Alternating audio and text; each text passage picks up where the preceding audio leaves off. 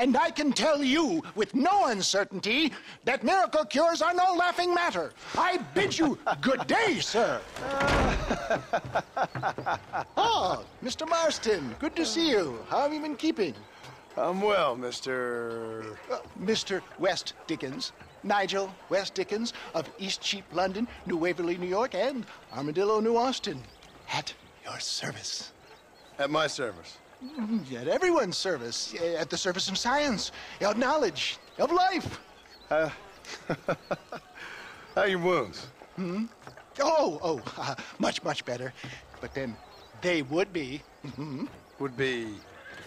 I know a cure for all ailments, Mr. Marston. Ah, I'm sure you do. And I'm sure for just $2 an ounce, I could live forever. Oh, but for you, sir, I'd do a bulk discount rate of 195 an ounce, as long as you buy 100 ounces or more. That's a lot of immortality. Uh, give it up, old man. That's Mr. West Dickens to you, boy. Give it up, old man. Uh, listen, Marston, I'm broke, but this stuff is good. It works. I need a healthy young man like you. Come along, and let's ride over to my newest customer at Ridgewood, and I'll explain while we go. Okay. Head for Ridgewood Farm, John, and hurry. There are people there in dire need of my tonic.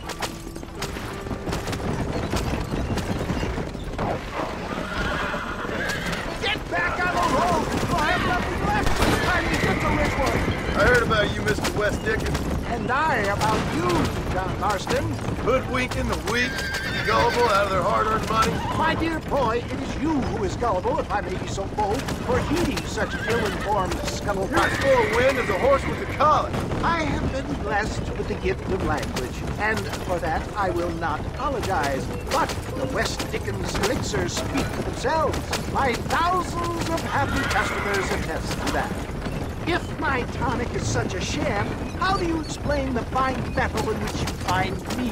Last time you saw me, I was knocking at death's door. You should thank the doctor for that.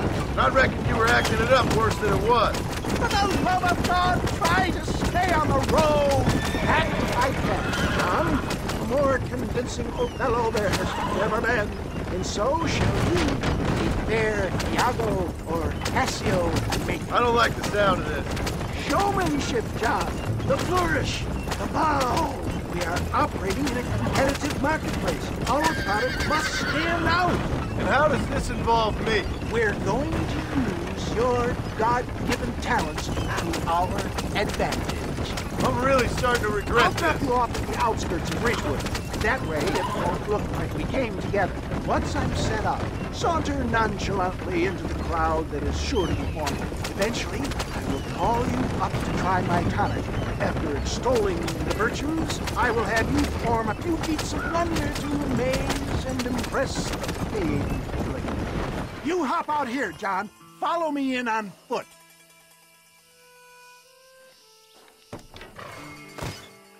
I'll see you there. Be ready to enchant the crowd.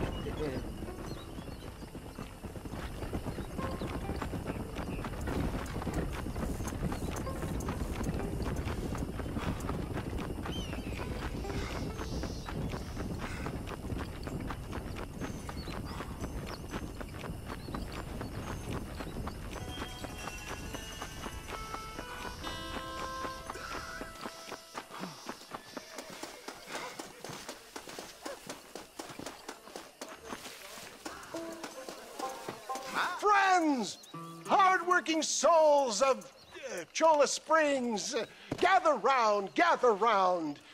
Do you suffer from rheumatism, lumbago, acute chronic sciatic, uh, uh, neurologic, or inflammatory pain? Well, I represent the only company that makes the genuine article that cures headaches, neuralgia, uh, earache, toothaches, backache, swelling, sprains, sore chests, swelling of the throats, contracted cords and muscles, anxieties and ravaged nerves, stiff joints, wrenches, dislocations, cuts and bruises, and it adds vitality and vigor to the healthy man. But can you prove it, old man? Oh, I'm sure there's some customer here who could prove the qualities of it by Take a drink right now. You, sir, come up here. Step right up. That's the spirit. Ladies and gentlemen, pay close attention.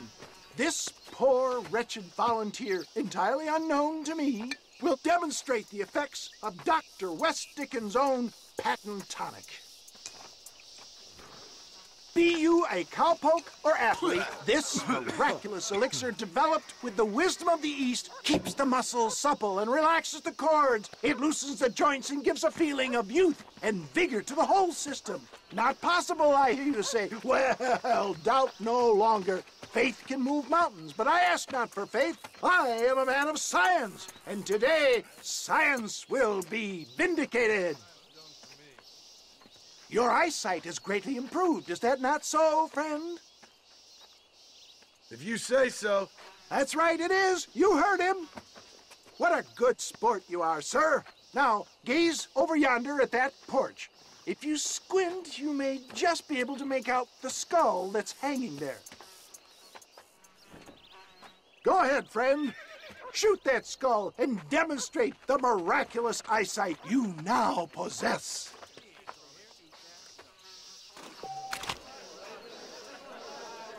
Remarkable! The eyesight of an eagle, granted by imbibing Dr. West Dickens' own patent tonic. Anybody can make that shot. This man is a fraud. If your eye's so damn sharp, why don't you try shooting my hat out of the air? My friends, our test case has been challenged to shoot a gentleman's hat out of the sky above our heads. You can fool these people, but you ain't fooling me. Right. Let's just see how sharp you is with a moving target. Get ready to shoot that hat.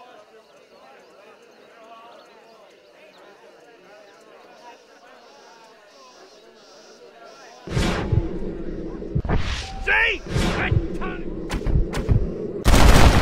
Have you ever seen such an eye? Behold the power of the elixir plucked out of the sky. Hey! Hey! You think you can put a hole in a man's hat and just walk away, do you? Hey, it don't work like that right there, mister. Come on! Are you a man or not? A challenge of battle has been offered to our volunteer. Look at him. The tonic is coursing through his veins.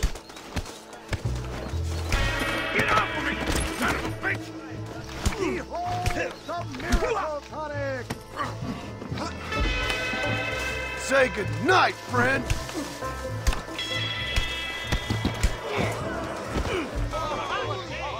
There it is, skeptics and dissenters. Irrefutable proof. Do not let this opportunity pass you by. Look, he's over there. Go get him. This ends now. Watch out! He's got a gun. Who the hell do you think you are? You ain't leaving here alive.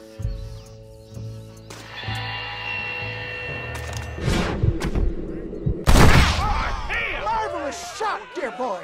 The kind of deadly accuracy that can only be afforded by the West Dickens elixir. Come, I have plenty for all. You'll be fine. Get out of my way. Hey, where are you going?